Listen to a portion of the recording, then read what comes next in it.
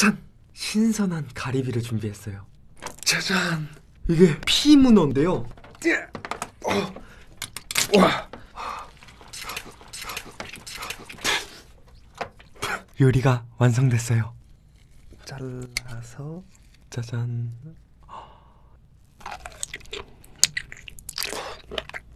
음, 와 되게 부드럽다.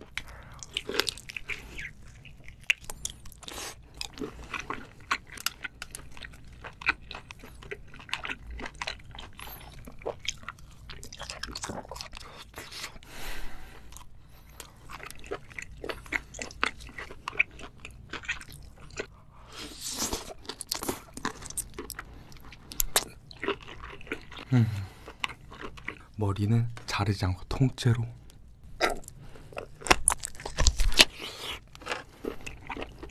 음.